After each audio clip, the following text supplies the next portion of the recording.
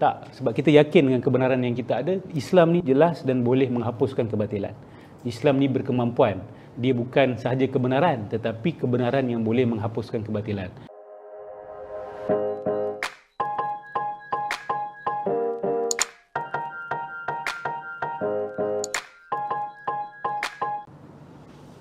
Baik. Tajuk uh, besar kuliah ini adalah berkenaan ma'rifatullah. Betul tak? Dan uh, kita banyaklah terima komen-komen Sidang Kalam bukan ahli untuk bercakap tentang ma'rifatullah. Nurdros bukan ahli untuk bercakap tentang ma'rifatullah. Dan bila kita analisa kenyataan-kenyataan mereka itu, kenapa mereka kata bukan ahli? Sebab mereka kata apa yang kita sampaikan tentang ma'rifatullah ini tidak sama seperti yang pernah diajarkan kepada mereka oleh guru-guru mereka.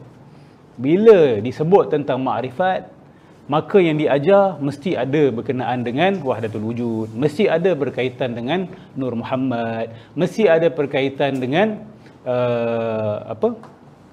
Uh, uh, amalan-amalan bersuluk, berkhalwa, mesti ada berkaitan dengan perkara-perkara yang kita sinonimkan dengan sufi batini punya amalan lah. Uh, jadi mereka apabila apa yang kami sampaikan ini tidak selari dengan apa yang guru-guru mereka dulu ajar, jadi mereka kata ini bukan ma'rifatullah. Uh, saya ingin uh, tweak sikit pemikiran mereka-mereka yang bercakap begitu. Bila anda bercakap macam tu, seolah anda dakwa bahawa guru pertama anda pasti mengajar kebenaran kepada anda the first teachers that you met in your life itulah yardstick kebenaran jadi apa saja awak belajar selepas ini yang selari ataupun tidak selari dengan kalam guru-guru anda yang awal itu maka anda sama ada terima ataupun tidak berdasarkan apa yang mereka sampaikan saya di sini ingin mempersoalkan keabsahan apa yang mereka dakwa sebagai makrifatullah itu saya kata bahawa apa yang mereka ajarkan itu tentang wahdatul wujud, tentang martabat tujuh, kan? Uh, tentang Nur Muhammad, hakikat Muhammadiyah dan sebagainya, itu bukan ma'rifatullah. Uh, itu bukanlah tasawuf sunni. Jadi, takkanlah saya nak ajar perkara yang bagi saya bukan ma'rifatullah. Sudah tentu saya tak akan ajar benda-benda tu. Sebab saya tidak percaya perkara-perkara itu adalah ma'rifatullah. Uh, okay? Dan kenapa kami namakan sebagai ma'rifatullah? Sebab memang kita tenang, ten, sedang mendengar Allah Subhanahu Wa Taala. Kan? Kita belajar sifat-sifat Allah Subhanahu Wa Taala. Kita belajar perkara-perkara yang salah yang dinisbahkan kepada Allah, yang dinisbahkan kepada agama Islam. Itu ma'rifatullah yang kita panggil sebagai ma'rifatullah secara am. Semua orang boleh ma'rifatullah. Dan perkara ma'rifat ini bukan milik orang tertentu. Bukan milik kelas tertentu. Siapa yang telah baca qul huwallahu ahad Allahus samad lam yalid wa lam yulad wa lam yakul lahu kufuwan ahad dan faham makna dia, awak ada makrifat. Awak dah ada basic makrifatullah sebenarnya.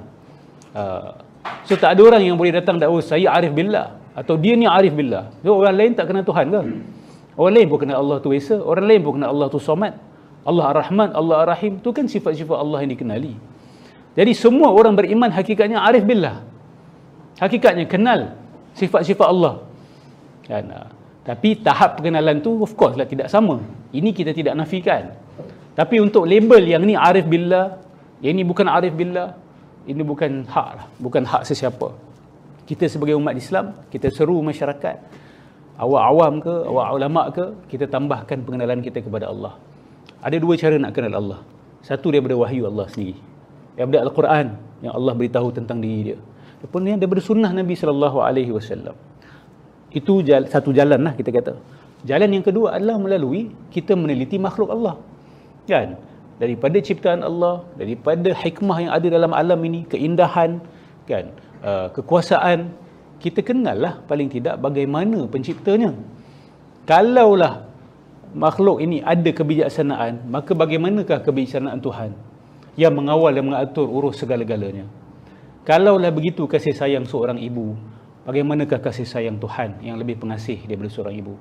Kalau begitu dahsyatnya gempa bumi, kalau begitu dahsyatnya uh, apa letusan gunung berapi, kalau begitu dahsyatnya ribut taufan, bagaimanakah lagi kekuasaan Allah Subhanahu Wa Taala? Bagaimanakah lagi menggerunkan neraka Allah Subhanahu Wa Taala? Itu dua jalan ma'rifatullah. Tetapi golongan uh, ini menambah satu lagi jalan. Kan? Uh, dia kata jalan ni adalah dengan melakukan suluk. Uh, ada ilmu ke tak ada ilmu ke, bid'ah ke tak bid'ah, tak ada masalah. Yang penting kamu jauhkan daripada dunia. Kamu berlapar. Kamu jangan tidur. Kamu jangan campur orang. Kamu senyap. Jangan banyak bercakap. Jangan makan perkara yang bernyawa. Kan? Dah. Maka dengan jalan ini kamu akan mengenali Allah Subhanahu Wa Taala. Ha, inilah dikatakan oleh orang-orang seperti Plotinus. Kan? Inilah aliran-aliran seperti aliran Gnosticism. Gnosticism ni datang dari perkataan gnosis iaitu ma'rifah. So a Gnostic is arif billah kalau awak nak tahu. Gnostic adalah arif billah dalam istilah mereka. Hmm. Jadi mereka juga mendakwa jalan yang sama. Nak kenal Tuhan dengan cara dipanggil sebagai rahbaniyah yang pernah kita cerita sebelum ini. Monasticism. Kan? Dan monasticism Kristian ni dia datang bukan daripada agama yang dibawa oleh Nabi Isa. Tapi datang daripada aliran luar. Falsafah Gnosticism, uh, Middle Platonism ataupun boleh dipanggil sebagai Hermeticism ataupun kemungkinan juga berkait dengan uh, Advaita, uh, aliran Advaita Vedanta dan yoga. Hmm. Yang mana ada amalan-amalan menafi diri dan ada amalan-amalan yang menekan kita kata keperluan uh, material manusia. Menjauhkan sejauh-jauhnya daripada alam benda supaya rohani itu dapat sihat. Baik. Jadi apa yang kami sampaikan ni memang ma'rifatullah. Bukan kami mempermain-mainkan perkataan itu cumanya kami nak ma'rifatullah itu dengan cara yang selamat dengan cara yang betul dengan Al-Quran, Sunnah, kefahaman ulama' mu'tabar dan kami juga banyak menekankan peri penting yang tentang ilmu sains supaya kita juga uh, membaca ayat-ayat Allah yang dipanggil sebagai ayat-ayat manzurah. Uh, ayat Quran ni dipanggil makruah, ayat makruah.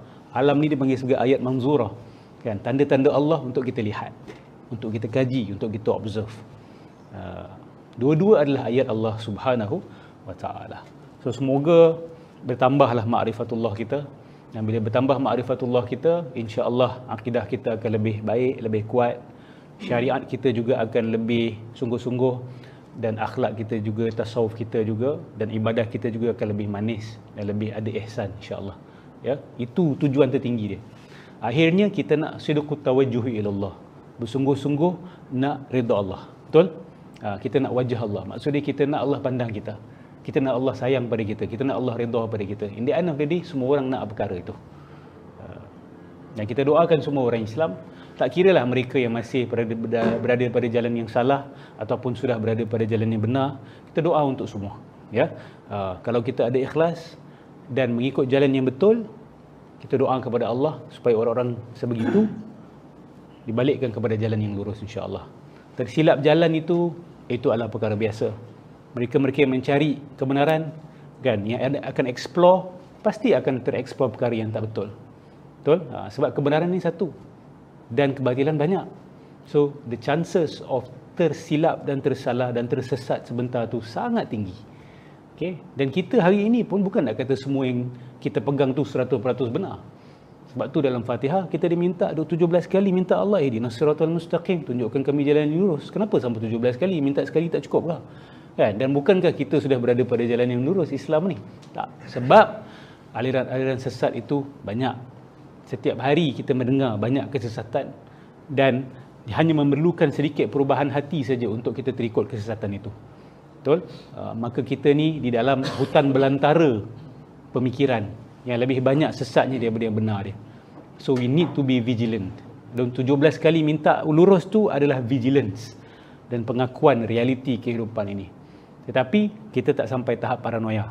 Uh, paranoia ni dia terus tak boleh function sebab terlalu takut sehingga tidak mahu berfikir langsung.